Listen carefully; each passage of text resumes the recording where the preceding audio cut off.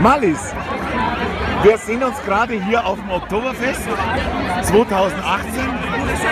Wie ist es denn so auf dem Oktoberfest für dich? Ja, oh, moin moin, kann der Hamburger nur sagen, gell?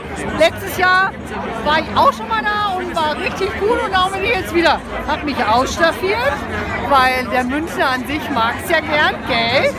Also insofern, ich komme wieder und werde in Hamburg Reklame machen und tschüss.